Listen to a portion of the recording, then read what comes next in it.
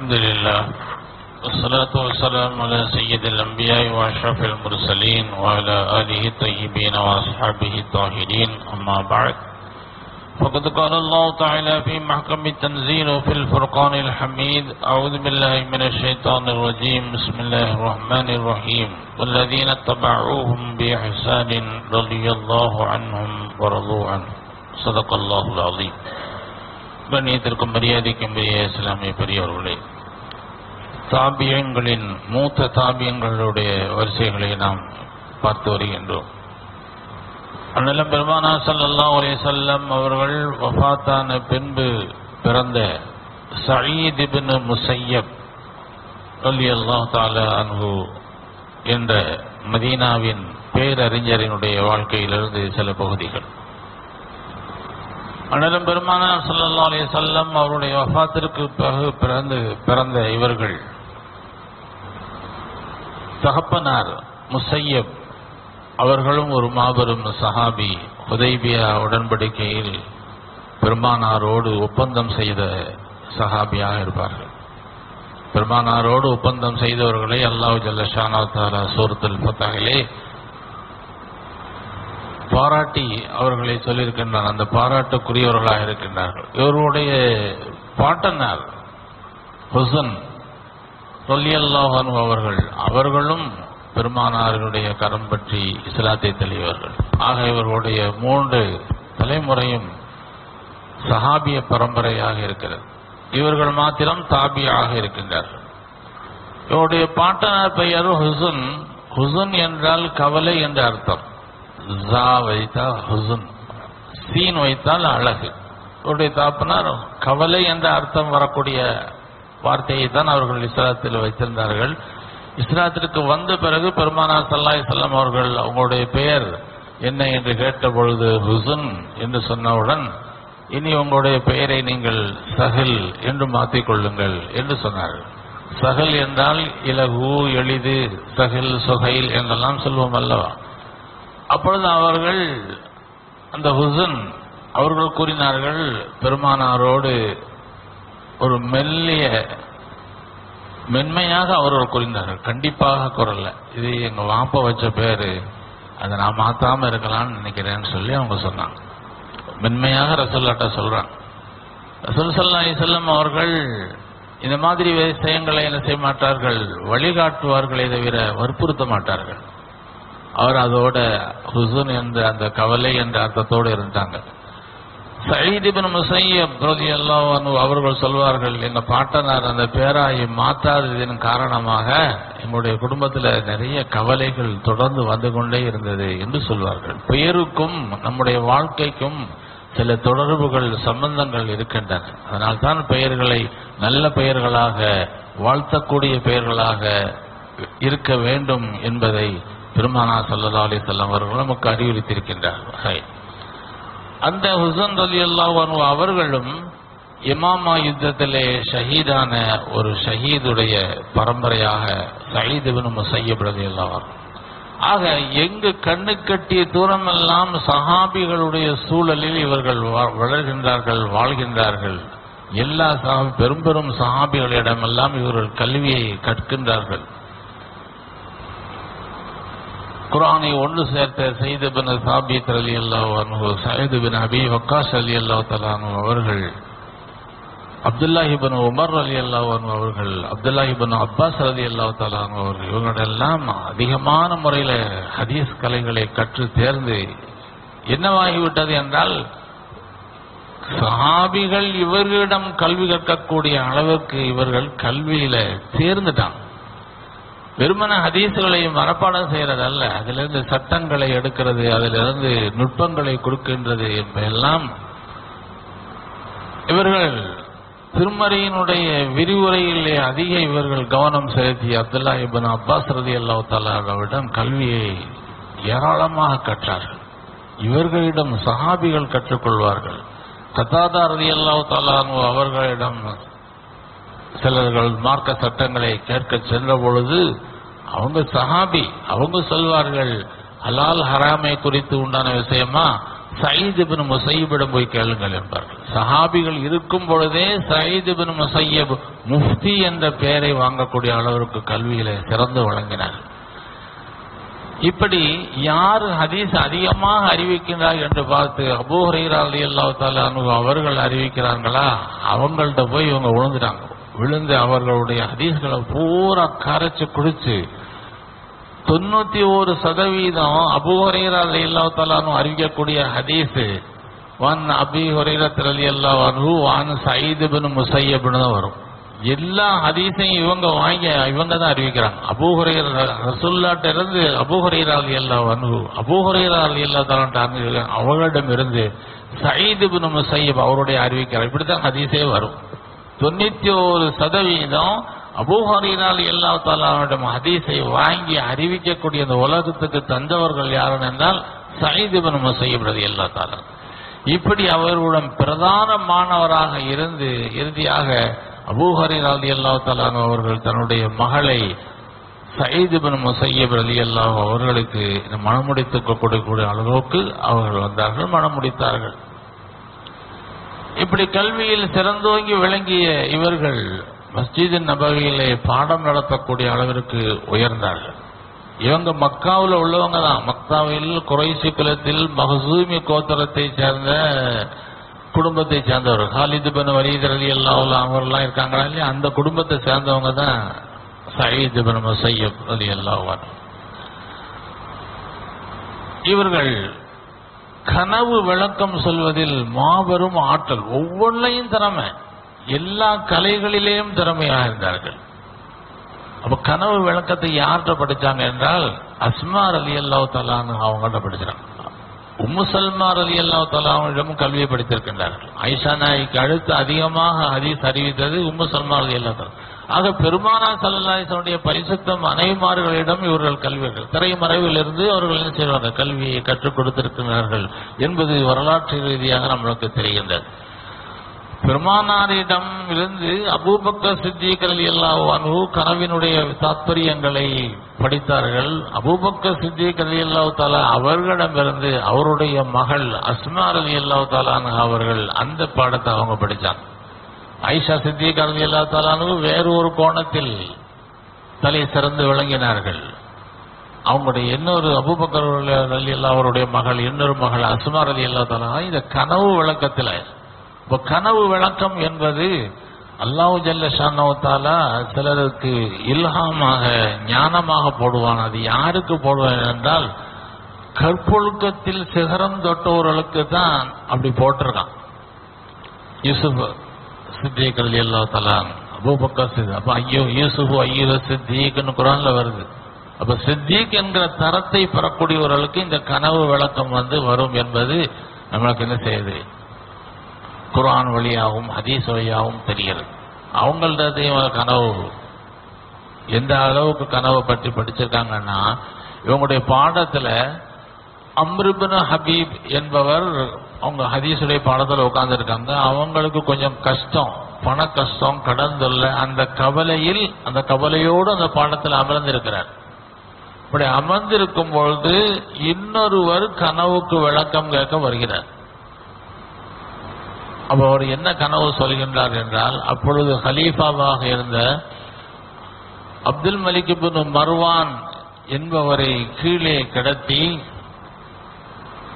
அவருக்கு மேல நாலு அம்பு சொருவி அவர் வந்து என்ன செய்யறாரு ரத்த வெள்ளத்துல கிடக்கிறார். ஹலீஃபாவை பத்தி அவர் கனவு கண்டதா? ஹலீஃபாவை கீழே கிடத்தி அவரை கொலை செய்யறதாக கனவு கண்டார் அப்படின்னு அவர் சொல்றார்.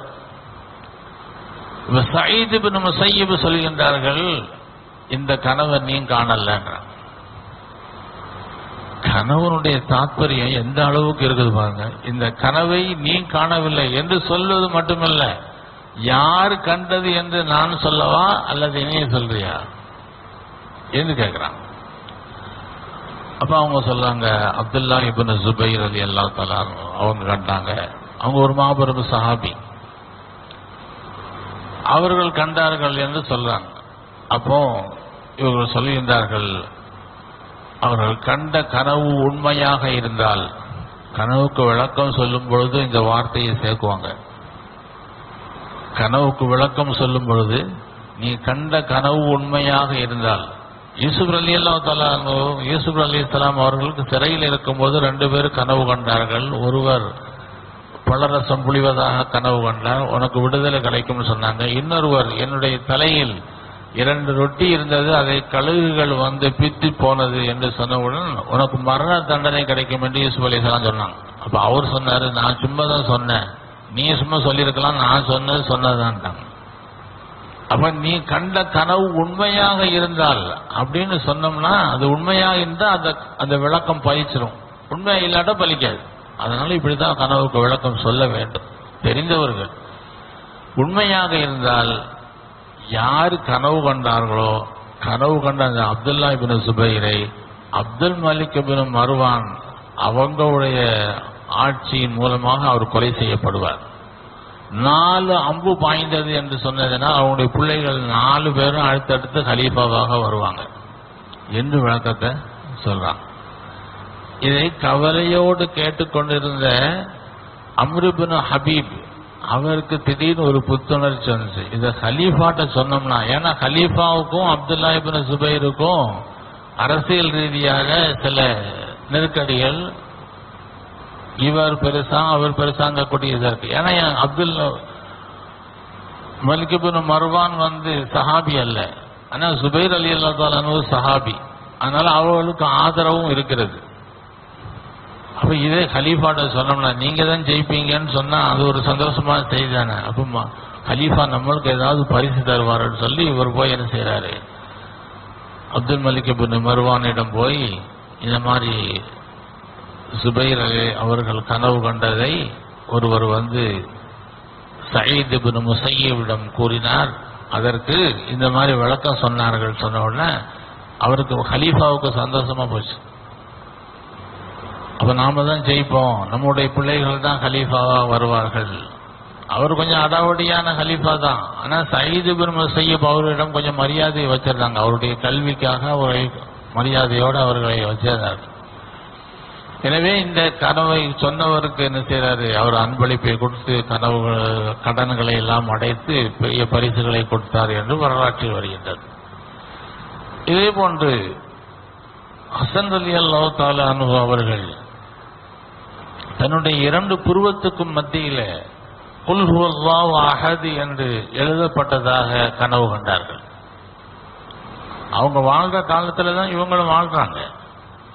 அப்ப குடும்பத்தாரிடம் சொன்ன பொழுது குடும்பத்தார்கள்லாம் மகிழ்ச்சிய சந்தோஷமான செய்தியான ஏன்னா குல்லுவல்லா வாழ்ந்து ரெண்டு புருவத்துக்கு மத்தியில எழுதப்பட்டிருக்கிற என்று எல்லாரும் என்ன செஞ்சாங்க? மகிழ்ச்சி அடைஞ்சாங்க.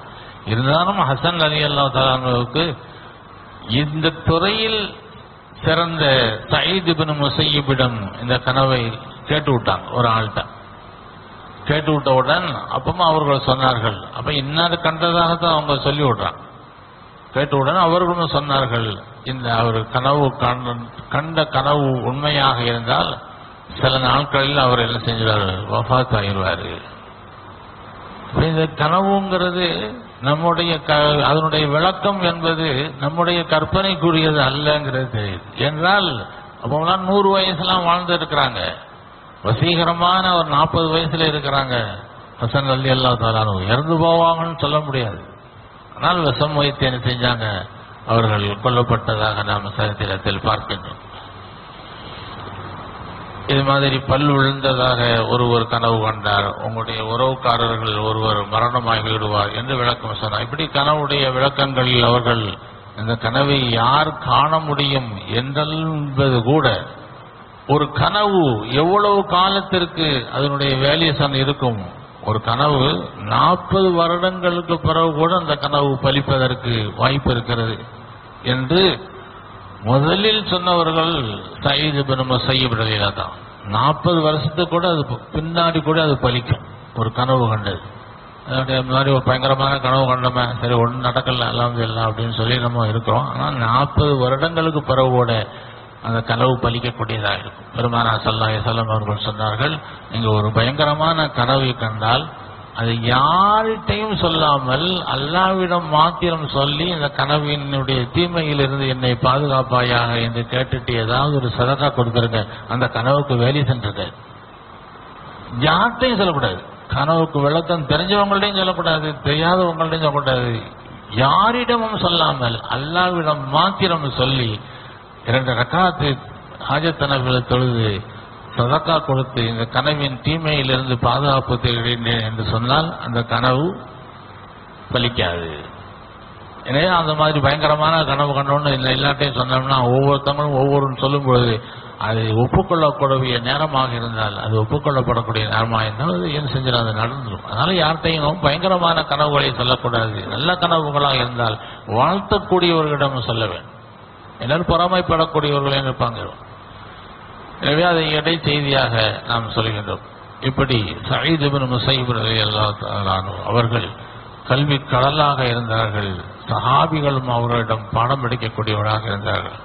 இப்ப இந்த அப்துல் மலிக் பின் மர்வான் அவருடைய பிள்ளை அவங்க அரசாங்கத்திலிருந்து இவர்களுக்கு ஒரு வலீஃபா கொடுப்பாங்க. ஆனா இவங்க வாங்க மாட்டாங்க. ஏன்னா இவர்கள் நேர்மையான ஆட்சியாளர்கள் இல்லை. எனவே அது இந்த காசு எனக்கு வேண்டாம்னு சொல்லுவாங்க. முப்பதாயிரம் திருகங்கள் இப்படி வாங்காத காசுகள்லாம் சேர்ந்து இருக்கு. ஒரு பைசாவை கூட வாங்கல. அப்துல் மினக்கு மர்வான் அவர்கள் மதீனாவினுடைய மஸ்ஜித் நபவியில இவங்க பாடம் நடத்திக்கிட்டு இருக்காங்க. அவன் கலீஃபா வந்தா எப்படி இருக்கும்? வந்து சைது பின் செய்யவன் நான் சதிக்கணும்னு சொல்லு என்று சொல்றாங்க. மக்கள்லாம் தடப்படன்னு ஓடிக்கிட்டு இருக்காங்க. ஒரு நாட்டினுடைய கலீஃபா பெரிய சாம்ராஜ்யம். அவங்க பாடம் தேவையான செய்யல. அவரை பார்க்கணும் எனக்கு தேவையில்லை எனக்கு பார்க்கணும் அவரை பார்க்கணும் எனக்கும் தேவையில்லைன்ட்டு அவங்க எஞ்சிக்கல. அப்படி இதை போய் காவலர் சொல்றாரு அந்த வந்தவர் சொல்றாரு இதை இந்த வார்த்தையை நீ மட்டும் இல்லாமல் வேறு ஒருவர் சொல்லியிருந்தால் உன்னுடைய தலையை வெட்டியிருப்பேன் அப்படின்னு சொல்லியிருந்தார். அப்ப ஹலீஃபாட்டு போய் சொல்றாங்க இந்த செய்தியை. அப்ப அப்துல்லிபுல் மருவான் அவர்கள் கொஞ்சம் அடாவடியாக இருந்தாலும் கூட இவருடைய கல்விக்காக இவருடைய மதித்து அப்ப அவர் சொன்னாரு அப்படி சொல்றவர் தான் சையது பெரும செய்யும் அவர் அப்படிதான் அப்படின்னு சொல்லிட்டு அது ஒண்ணுமே அதை பற்றி என்ன செய்யலை. எசீதுடைய ஆட்சி காலத்துல ஹர்ரா என்ற ஒரு பெரிய ஒரு ஊரடங்கு மாதிரியான ஒரு சம்பவம் நடந்தது மதீனாவுல. பெரிய கடைகள்லாம் அடித்து நொறுக்கப்பட்டது. ஒரு கலவரம்.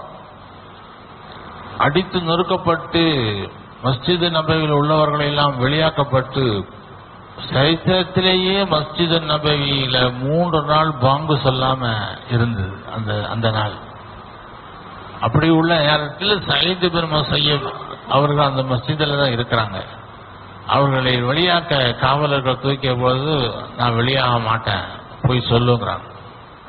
சொல்லப்பட்டது. சொல்லப்பட்ட அவரை விட்டு விட்டுருங்கட்டாங்க எதிரிகள் கூட இவருடைய கல்விக்காக வேண்டி இவர்களை மதித்தார்கள். இவர்கள் மாத்திரம் மஸ்ஜித் நபவியில இருந்தார்கள். அவர்கள் பின்னாளில் தன்னுடைய சரித்திரத்தில் சொல்கின்றார்கள் ரவுதா ஷரீஃபிலிருந்து பாங்கு சத்தம் கேட்டதுங்கிறான் மூன்று நாள் பாங்கு சொல்லப்படல ரவுதா ஷரீஃபிலிருந்து பாங்கு சத்தம் கேட்டது என்றார். இவர்கள் தன்னுடைய வாழ்க்கையை பற்றி சொல்லும் பொழுது இவர்கள் தான் இமாமா இருக்கிறாங்க. இவங்க சொல்றாங்க இவங்க முன்னாடியே போய் உட்கார்ந்துருவாங்க. பாங்கு சொல்றதுக்கு முன்னாடியே இமாம் தொழுவைக்கிற இடத்துல உட்கார்ந்தாங்க. நான் நாற்பது ஆண்டு காலம் யாருடைய முதுகையும் பா தொழுகையில நான் பார்க்கலங்கிறாங்க. அப்ப என்ன பின்னாடி நின்று தொழலன்னு அர்த்தம். லேட்டா வரலன்னு அர்த்தம்.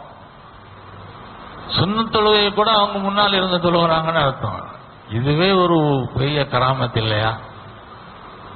இப்படி இவருடைய வாழ்க்கை எந்த வக்தையும் வாங்கு சொல்வதற்கு முன்னாடி பள்ளியத்துல பள்ளியாசல்ல உட்கார்ந்து இருக்கக்கூடிய ஒரு சரித்திர பதிவை அவருடைய வாழ்க்கை வரலாற்றில் தான் பார்க்க முடிகின்றது என்பதை பார்க்கின்றோம். தன்னுடைய மரண நேரத்தில் சக்கராத்து காலில் தான் இருக்கு. அப்படி இருக்கும்போது தான் அவங்க முகத்தை என்ன செய்யறாங்க கிபிலா பக்கம் திருப்பி வைக்கிறாங்க. கிபிலா பக்கமா இருக்கட்டும். சக்கராத்து காலுன்னு தெரிஞ்சிடுச்சு. அப்ப அவங்க சொல்றாங்க நம்மளுக்காக பிறருக்காக சொல்றாங்க. காலமெல்லாம் கிபிலாவை முன்னோக்காம மர நேரத்துல மட்டும் கிபிலாவை முன்னோக்கி என்ன செய்ய? அப்படின்ட்டு மக்களுக்கு சொல்றாங்க. காலமெல்லாம் கிபிலாவை முன்னாக்காம ஊர்ல சுத்திட்டு தெரிஞ்சுட்டு சாவு போகும்போது நேரத்தில் மட்டும் மோத்த திருப்பி அப்படின்னு சொல்லி பிறருக்கு ஒரு புத்திமதியாக அவர்கள் சொன்ன வார்த்தையும் வரலாற்றில் பதிவாயிருக்கின்றது. இன்னும் ஏராளமான அவருடைய கனவினுடைய விளக்கங்கள் இருந்தாலும் இப்படி அவர்கள் களிமாவை மொழிந்தவர்களாக ஜன்னத்துல் பக்தியிலே அவர்கள் அடக்கப்பட்டிருக்கின்றார்கள். அல்லாஹ் ஜல்லஷானோ அவர்களை பொருந்திக் கொள்வானாக உயர்ந்த சொர்க்கத்தை அளிப்பானாக ஆமீன். ஆஹிதாவான் அல்ஹம்துலில்லாஹி ரபுல் ஆலமீன். صلى الله على محمد صلى الله عليه وسلم. صلى الله على محمد صلى الله عليه وسلم. صلى الله على محمد. அப்துல் மலிக் இப்னு மர்வான் தன்னுடைய மகனுக்கு இவருடைய மகளை பெண் கேட்டான் எப்படிப்பட்ட ஒரு பாக்கியம் ஒரு சாம்ராஜ்யத்தினுடைய ஹலீஃபா தன்னுடைய மகளுக்கு பெண் கேட்கிறாரு சயீத் பின் முசைப் சில பொன் கொடுக்க மாட்டேன்னு சொல்லிட்டு ஒரு ஏழையான மாணவர் அவர் ரெண்டு திருகம் தான் மகர் கொடுத்தார். அந்த மாப்பிள்ளைக்கு மனம் முடிச்சு கொடுத்தார் என்ற வரலாற்றை பார்க்கலாம் அதாவது அரசாங்கம் என்ன செய்யும் சொன்னா இந்த மாதிரி உள்ள ஆட்களை சம்பந்தம் பண்ணி தன்னுடைய ஆட்களா ஆக்கி இன்னும் சவுதியில அந்த டெக்னிக் தான் இருக்கு. நல்ல ஓதி துரோகிக்கக்கூடிய இமாம்களாக இருந்தா என்ன செய்வாங்கன்னா அவர் நம் அரசாங்கத்துக்கு எதிர்ப்பாக அவங்க பேசிடக்கூடாதுங்கிறதுக்கு வேண்டி அவங்களுக்கு என்ன செய்வாங்க அரசாங்க வகையில் உள்ளது ஒரு பொண்ணை கொடுத்துருவாங்க. பொண்ணை கொடுத்து கல்யாணம் பண்ணிட்டு ராயல் ஃபேமிலியாக ஆக்கிடுவாங்க. இது அப்படியே அப்போ இருந்து அப்துல் மலிக் பின் மர்வான் அவர் செய்தார். ஆனால் சயிது பின் முசைப் என்ன செய்யல? அதற்கு சம்மதிக்காமல் ஒரு ஏழை மாணவனுக்கு தன்னுடைய மகளை மனம் விட்டுக் கொடுத்தார். என்று சரி தெரிஞ்சு பார்க்கிறோம். الحمد لله رب العالمين صلى الله على محمد صلى الله عليه وسلم صلى الله على وسلم صلى الله على وسلم۔